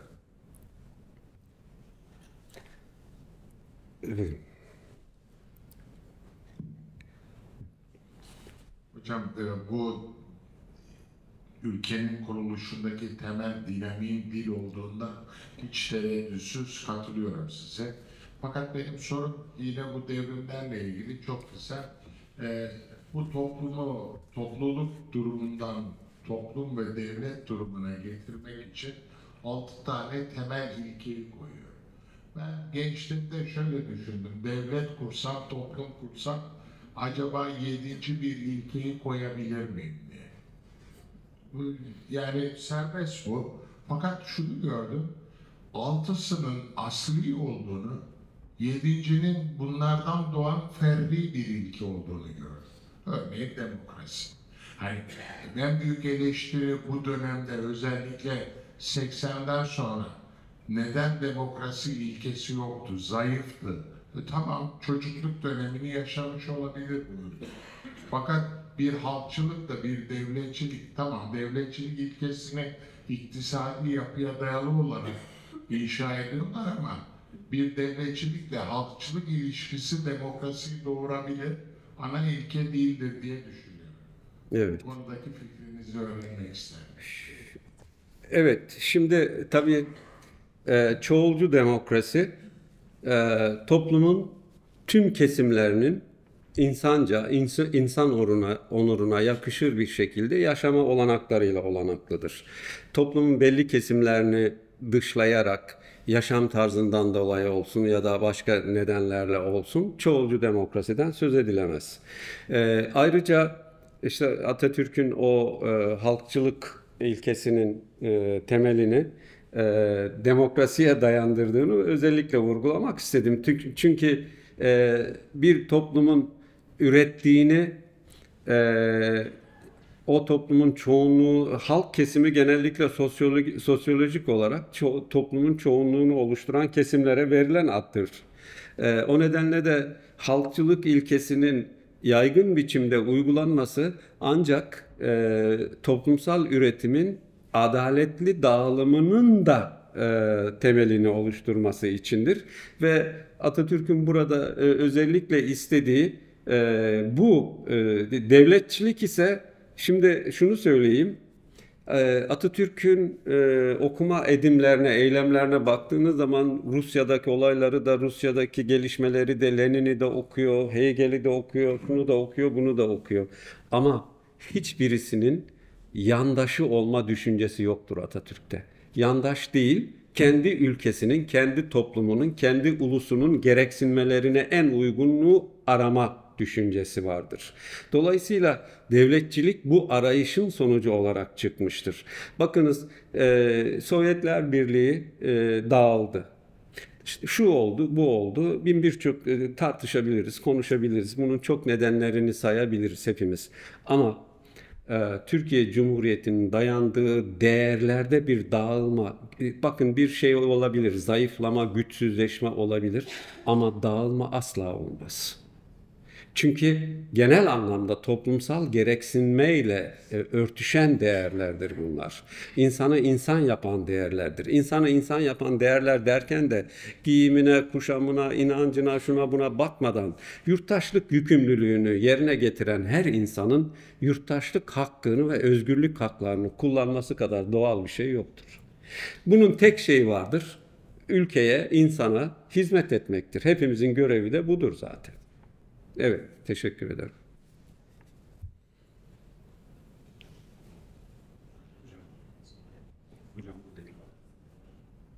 Pardon, buyurun. Çok teşekkür ederim katkınız için. Ee, ahilik düşüncesinin e, Cumhuriyet kavramının e, kökeninde etkisi nedir? Sizden duymak istiyorum. Aile, Ahilik. Ahilik. Aa çok teşekkür ederim. Bunu ilk şimdi ahilik e, Anadolu'da e, Türk toplumunun geliştirdiği en önemli uygarlık atılımlarından birisidir. Neden? Birkaç, e, birincisi uygarlık kavramını sayarken işte bir yerleşim yeri kurmak, toplu yaşama, toplu yaşama hak hukuk kavramı, meslek bakınız. Ahilik çok önemli, ahiliğin en önemli yönlerinden birisi meslek eğitimi. Mesleğin çeşitlendirilmesi. 1200'lü yıllarda Kayseri, Nevşehir'den Ankara'ya olan Ankara'ya kadar olan bölgede ahiliğin e, öne çıktığı, e, egemenleştiği bölgede 80'e yakın meslek öğretiliyor. Yani bundan 800 yıl önce nitelikli meslek öğretiliyor, üretim yapılıyor. Üretim e, hatta üretim biçimiyle ilgili soru üretim sermaye birikimine dönüştürülüyor ve kadınlar üretim gücünün en önemli ögesidir. Kadınlar ürettikleri ürünü Kay, bugün e, Kayseri'de olması gerekir. O dönemde uluslararası bir pazarda ürettiklerini pazarlıyorlar. Sermaye elde ediyorlar. Dolayısıyla üretime katıldıkları için ve belli bir sermaye birikimi kadınların elinde olduğu için söz hakkı var kadınların. Dolayısıyla kadının toplumsal yaşama katılımı, etken katılımı bakımından da ahilik çok önemli bir uygarlaşma atılımıdır. Meslek, meslekin çeşitlenmesi, e, yerleşik yaşamın e, ve hak hukuk kavramının bir de toplumsal dayanışma kavramının en önemli e, şey, e, kavramını geliştiren en önemli atılımlardan birisidir. Bugün şunu da söylemek isterim. Ahilikle e, soru için ayrıca teşekkür ediyorum. Ahilik e, Ankara'da ahiler yaklaşık 70 yıl yere özel yönetim ya yerel yönetim diyelim buna hadi bugünkü şeyle yerel yönetim yapıyorlar. Ahiler Ankara'yı yönetiyorlar. Ankara'nın e, yerel yönetim deneyimi ahiliğin çok büyük bir katkısıyla belirginleşiyor. Hacı Bayram Veli'yi burada çok büyük bir değer bilirlikle almak gerekir. E, Kadı Burhanettin'i almak gerekir. Ahi Evren'i ahilik herek, e, e, deviniminin önderi ahi evrenin katkılarını e, hem insancıl hem evrensel hem de en önemli şey Arap gezginlerinin anılarında vardır. Bu insanlık dayanışma e, güç durumda olanın e, güçlü e, e, güçsüzlüğünü giderme ahiliğin en önemli zaten kardeşlik anlamında da kullanılır bu çok yönüyle en önemli özelliklerinden biridir. Zaten humanizmin özü aslında güçsüzle dayanışmak, güçsüzün güçlenmesine katkıda bulunmaktır. Başka bir şey tanımlayamıyorum ben. En belirgin yönlerinden ahiliğin birisi de budur.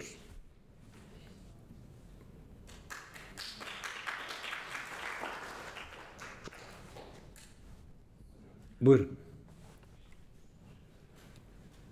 Teşekkür ederim. Ee, hocam bin yıla yayılan bir çözüm verildi. Elimize ışık tutan güzel bir sunum. Çok teşekkür ederim. Ee, benim sormak istediğim e, ilk çeyreğini tamamladığımız yüzyılın e, içinde e, ulusçuluk kavramının nereye doğru evrileceğini sizin düşünceniz nedir? Nereye doğru gidiyor dünyanın içerisinde? Ulus. Umut. Ulus kavramı. Umut. Ulus. Ulus. Ha, biraz önce şey yaptım. Şimdi e, her ülke örneğin ulus kavramının e, ve ulus devlet oluşumunun ilk ortaya çıktığı ülke olarak Fransa'yı söyledim. 1600'lü yılların başında e, bir e, Richelieu adında birisinin Fransız ulus devletinin çekirdeğinin oluşmasını sağladığı bilinir. Fransa'dan sonra e, tabii İngiltere, e, Almanya, e, her ne kadar e, Almanya'da e, Örneğin Goethe'nin yaşadığı 1800'lü yıllarda Almanya'da 300'e yakın kent devletçikleri vardır. Alman birliğinin sağlanması 1871'dir. Otto von Bismarck.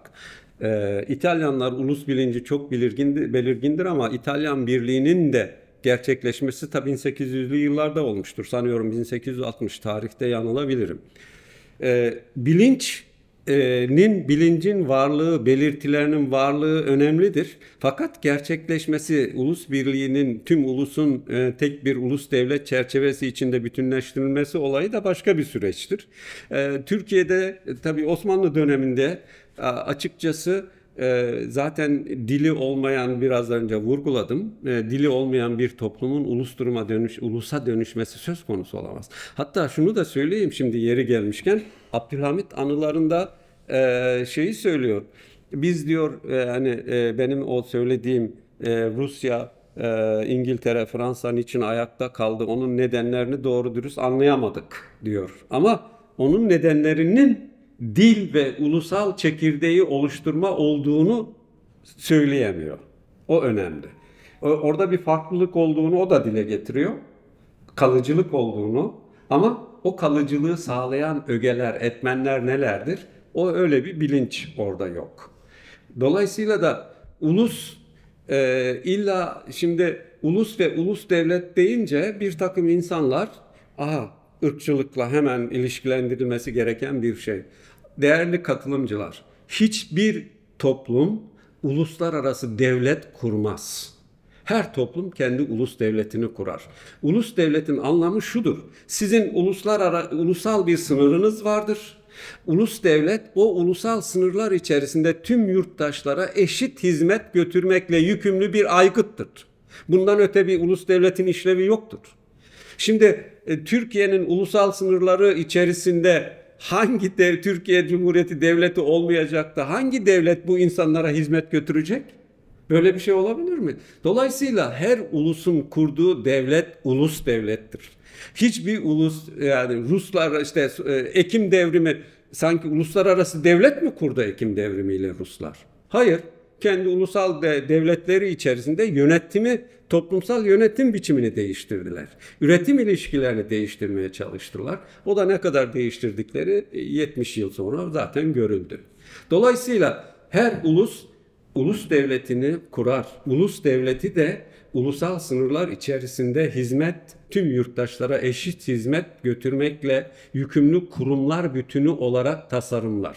İşlevli kurumların varlığı ulus devletinde varlık nedenidir. Bunun ötesinde ulus devlet vay Türkleştirme, vay Araplaştırma, başka bambaşka şeyler için yorumlanamaz.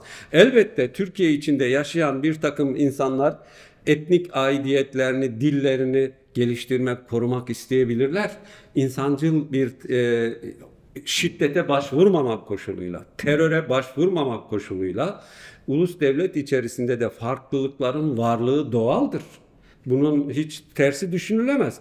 Ama şiddet ve terörle insan canına kıyarak herhangi bir şeyin yapılmasını da hiç kimse olağan sayamaz yani.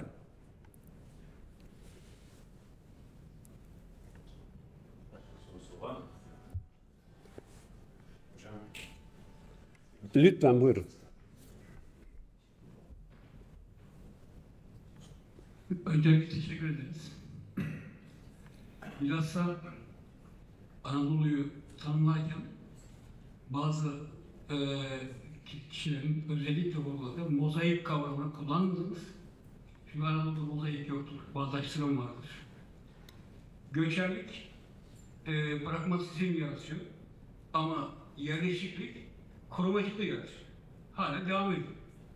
Atatürk buradan yurttaş kavramı çıkardı ve biz buna bağdaştırım diyoruz.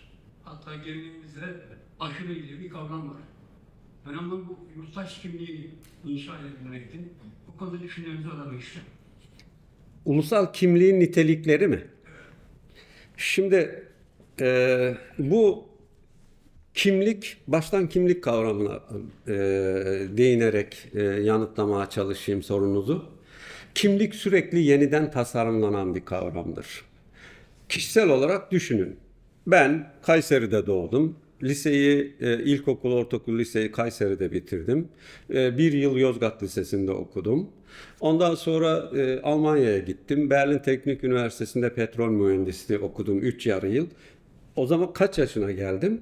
Yaklaşık 74 yılında 20 yaşındaydım. 20 yaşında kişilik ve kimlik büyük ölçüde belirginleşmiş olur. Dünya görüşü belirginleşir, dünyaya bakış belirginleşir, kişinin öz anlayışı belirginleşir.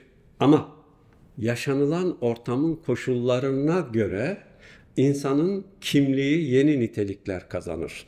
Bunu tanımlamak illa şu ortamda şunu yaşadım, şu kadar öğrendim, şu kadar kimlik değişikliğine uğradım diye zaten şöyle söyleyelim, kimlik de kültürel bir ögedir. Bir kültürün eee, etkisi miktarlaştırılamaz. Ben Alman kültüründen şu kadar işte e, ben akademik veya bilimsel formasyonumu Almanya'da edindim. Ama Alman kültüründen şu kadar etkilendim, Türk kültüründen bu kadar etkilendim diye bir miktarlaşma yapamam. Fakat etkilendiğimi de yatsıyamam. Ben o ülkede üniversitesinde okudum, doktora yaptım, üniversitesinde çalıştım. Öğretim üyeleriyle e, tartıştım, konuştum. E, kısacası mutlaka ben onlara bir şeyler söylemişimdir, onlar bana bir şeyler söylemiştir. Kimliğim belirginleşmiştir. Fakat bir şey söyleyeyim şimdi biraz e, kişisel bir şey ama bir görevden dolayı bana Alman yurttaşlığına geçmem önerildi. O zaman 1985, 84, 85 Almanya'da çift yurttaşlık kavramı da var. 2000 yılından sonra kaldırdılar bunu. Ben çift yurttaşlık olanağı olmasına karşın Alman yurttaşlığına geçmeyi kabul edip kendime yakıştıramadım. Kimlik son derece öznel bir şeydir. Başkası için de bunu asla kınayamam başkası yaptığınca da. Kimlik öznel beğeniler, eğilimler, bilinç durumları doğrultusunda sürekli yeniden tanımlanan bir kavramdır. Şimdi ulusal kimlik konusu da bir ulusal bütünlük içinde yaşadığımıza göre bütünden e, etkileşmemiz, bireyi tekil bir şey olarak, tikel olarak düşünelim, toplumu da tümel olarak düşünelim. Tümel elbette bir tikeli içinden yaratır. Ama tikel içinden çıktığı tümelin bütün özelliklerini edinmek zorunda değildir. Hem edinmez hem de içinden çıktığı tümeli gücü ve bilinci oranında etkiler, değiştirir. Ulusal kimlik de bu tümel tikel diyalektiği içinde düşünülmesi gereken bir şeydir. Bir katkı yapmak istiyorum hocam benim. Şöyle bir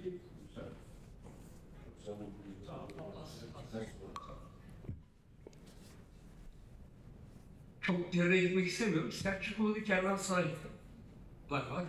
Hanlar var. Ticaretin gereği koyduğu yollar var. Ben öncesine gitmiyorum. Osmanlı'da bir cami mimarisi, Sinan mimarisi var. Anı saklıyoruz. Deniyor ki, yüz, yüz ay dedik, Cumhuriyet'in yani baş, başyapıtı nedir? Ben burada Cumhuriyet'in başyapıtı 23'ten şu an 2023'e geldik. İnsanımız olduğunu düşünüyorum.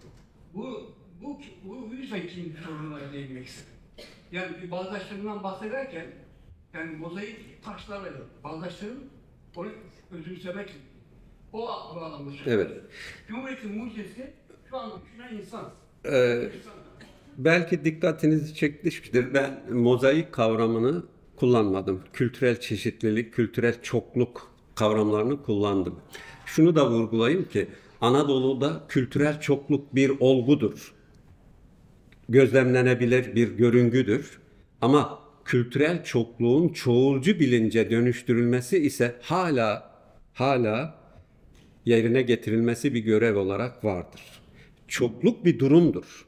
Kültürel çokluk bir durumdur.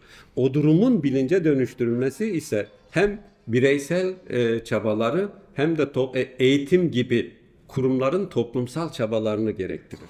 Bizim çokluk durumunu çoğulcu bilince dönüştürme sürecinde henüz istediğimiz e, mesafeyi kat edemediğimizi düşünüyorum Türkiye olarak. Ama şunu da söyleyelim ki her şey gibi kimlik, bireysel kimlik, ulusal kimlik, kültürel kimlik, zaman ve uzam. Uzamı mekan karşılığında kullanıyorum. Zaman ve uzamın koşullarına göre değerlendirilmek zorundadır. Bunların hiçbirisi değişmeden kalan olgular veya oluşumlar değildir. Değişir.